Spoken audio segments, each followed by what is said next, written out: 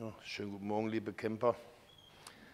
Ich kriege unheimlich viele E-Mails mit dem Modul. Ich habe ja gesagt im Video, die sind in der Fertigung. Bei uns hat es gehapert an der Tasche.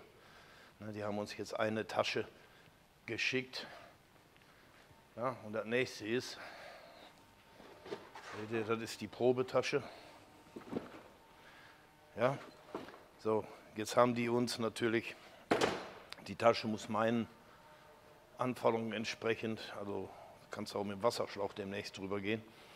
Ähm, daran hat es gehapert und ich muss über 1500 Taschen abnehmen, also müssen gefertigt werden. 750 Module werden kommen, also einen ganzen Container, einen 40-Fuß-Container. Die Module werden dann über ca. 70, 75 Händler mitverkauft. Ich habe ja damals da die Idee gehabt und äh, habe das mal gezeigt und habe dann gesagt, diese Flexi, das ist alles Kappes. So, ihr seht ja, wir haben hier ein wahnsinnig dickes Kabel dabei. Das ist alles, ich kann das mal hochheben. Das ist jetzt das dritte Modul, was Sie geschickt haben. Das Verarbeitung ist alles vom Allerfeinsten hier. Ne? Richtig fettes Kabel hier. Ne?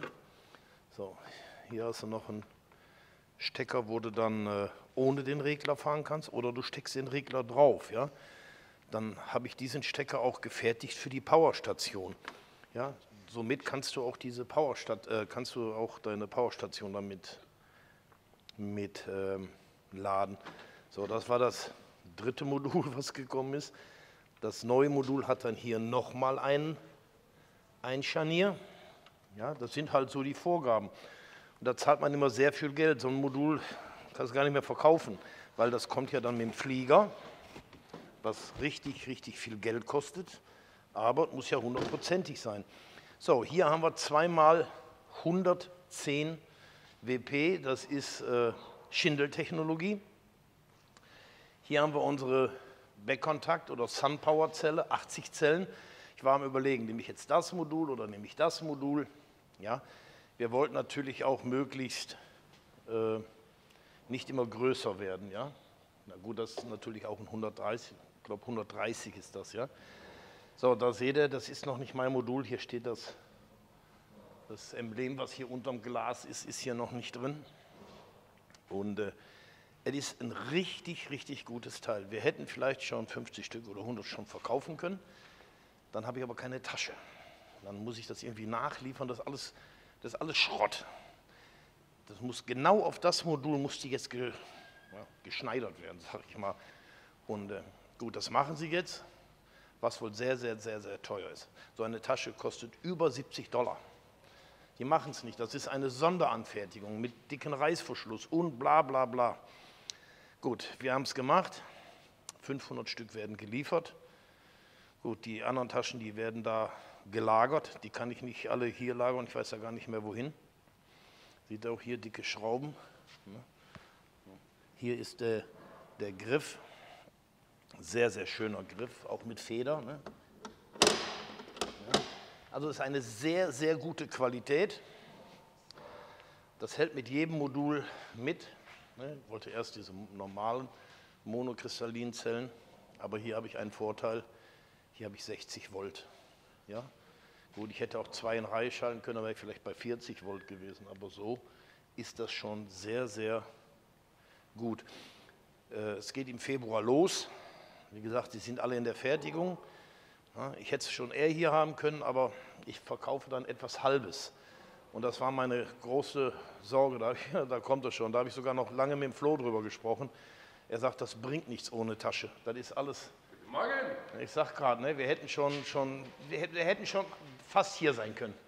Die Tasche war das große Problem, weil die muss. Und eine vernünftige Spannung. Ja, und eine vernünftige Spannung. Die Tasche muss ja genau äh, geschreinert werden, geschneidert werden. Das kostet richtig Geld. Die Tasche kostet richtig Geld.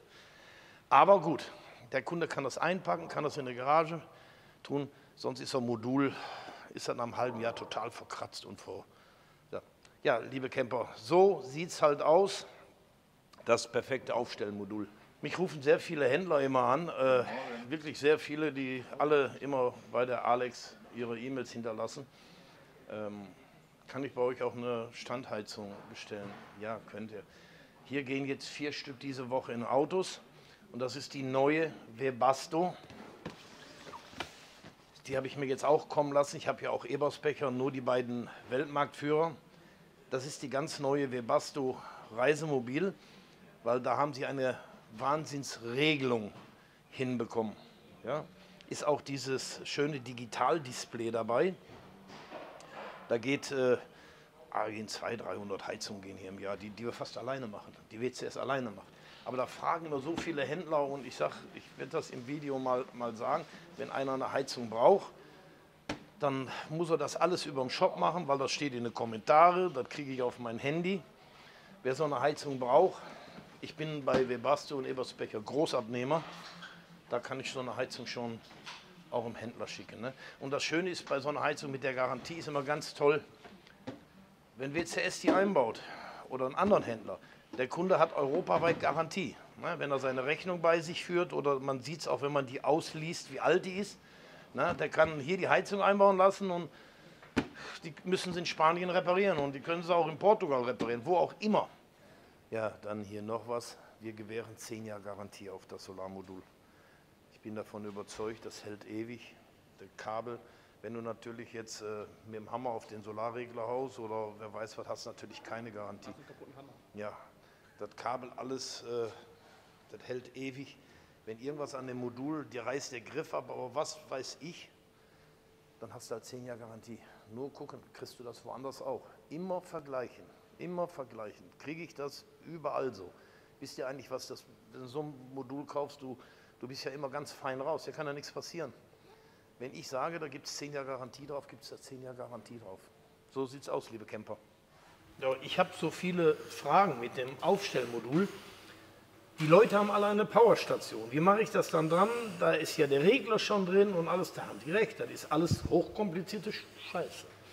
So, wir machen das so. So, du ziehst jetzt den Stecker, steckst den Stecker hier rein. Jetzt bist du fertig. Der Regler ist raus. Jetzt gehst du mit diesem Stecker auf deine Powerstation.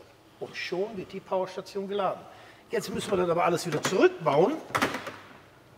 Jetzt muss der Stecker, der hier, ne, der Stromstecker, muss jetzt hier rein. Und siehe da, der muss hier rein. Das war jetzt eine Rumpfummelei heute Mittag. So, jetzt kann der Kunde alles machen. Ich mache das normal. Hier der Stecker raus, hier raus. Wir brauchen den Regler nicht, weil die Powerstation hat einen Regler drin. Siehst du? Jetzt gehst du in deine Powerstation rein.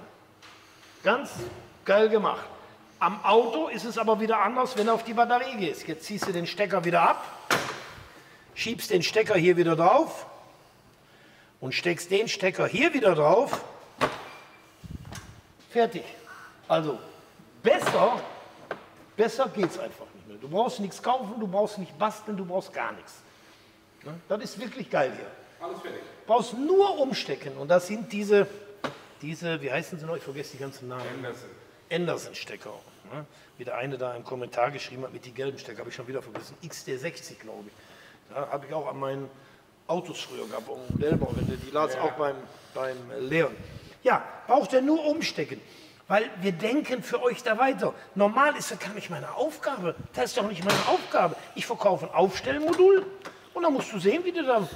So, und dann musst du das machen. So, ich habe jetzt alles fertig gemacht, aber ich lasse das in der Fabrik machen, weil das ist viel Arbeit hier, der ganze Umsteckgedöne. So, wir machen euch das fix und fertig. Wir liefern unser Modul dann mit einem Multistecker aus. So, da musst du erstmal jetzt einen finden, der dir so ein Modul liefert, wo das alles so gemacht wurde. Ach, das wird ein richtig günstiges Modul, weil ich habe hier heute eine Stunde gebraucht, um die ganzen Adapter zu krempen. Überleg mal, du zahlst aber nicht mehr. Das ist ja nicht, dass ich später sage, das kostet 100 Euro mehr. Ich habe hier echt eine Stunde jetzt gebraucht, um das professionell alles hier zu krimpen. Ich habe hier meinen Krimpsitz, da habe ich jetzt stehen. Ja, so, da brauchst du gar nicht bezahlen, weil ich weiß genau, wenn das Modul im Handel geht, dass die Leute uns alle fragen, ich möchte das Modul für meine, Power. für meine Powerstation. Und dann ist der Knall da. Dann sieh doch zu, wie du klarkommst mit deiner Powerstation. Besorg dir das, krimp das, du musst das Werkzeug haben.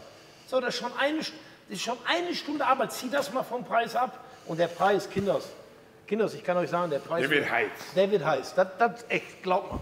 Weil ich habe 40 Fuß Container bestellt. Also da, da passiert was. Wartet mal ab. Jetzt brauchst du es sowieso nicht. Ich sage ja, der Monat, der Monat Dezember und Januar, da kannst du aufstellen. Das ist, dann ist für, für.